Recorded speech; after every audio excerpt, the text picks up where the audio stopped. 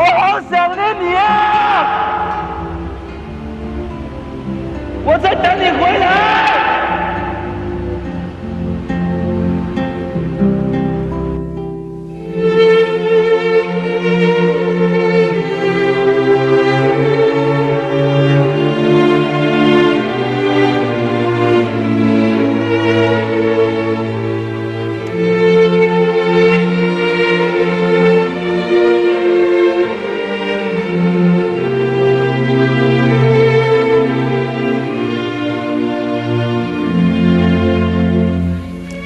菜，你快回来！我们大家都在等你回来啊！我真的生气了啦！我要跟那个白痴绝交！好了啦，冷静一点。冷静！你看看我的脸好不好？我们几个好像真的很久没有动手打架了。这次你跟阿四打架，我觉得阿四还是略胜一筹。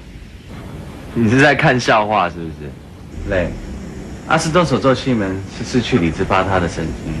西门没有发神经，所以难免出手比较轻，所以才吃了不少阿死拳头。不要再讨论这个好不好？反正他再不改掉他那个坏脾气啊，我就一辈子不跟他讲话。所以我觉得阿四是存心要让自己陷入混乱中的，或者说他根本没有能力不混乱。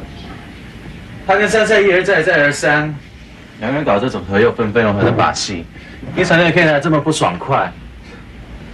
三哥西门也会说忍无可忍，你你也受不了了。可是这次好像问题都不是出在他们两个人的身上。你的意思是阿四妈妈？没错，这一切未免太巧合了。他要回来之后，我们不是还很替三在担心吗？突然间，他又回去纽约了。三太在这时候休学失踪。西门，还记不记得三菜休学的前一天下午，阿四约了我们，一副甜蜜蜜的模样，要叫我们两个谈恋爱。不太可能一夜之间两个人就闹分手啊！他们俩那种个性有什么不可以？西门，自己兄弟面前就不要再赌气了。我们不妨去打听一下，究竟原因是出在哪里。我看我们飞亲找阿四出来玩，想到他心情好，不如照磊说的，弄弄清楚到底是怎么回事。西门，你去跟小妖打听打听吧，我顺便去问问暴发户的儿子。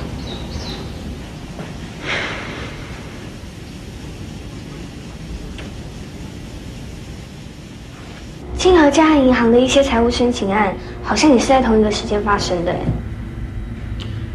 我大概明白了，你爸的工作跟清河家的财务状况，我可以肯定，确实是因为山菜才会出现这样的危机。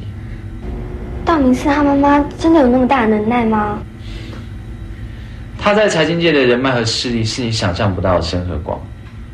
其实不难明白啊，他就是借着打击你们的经济状况，用来逼退山菜的。他利用我们当做威胁山菜的筹码。没错，太后不可能让道明家的继承人跟山菜这种平民在一起。其实我们早就料到了，只是没想到动作这么快。快到我们都来不及反应，山菜就已经自己退学离开。或者我该说，他放弃了自己的爱情，来维护你跟清河。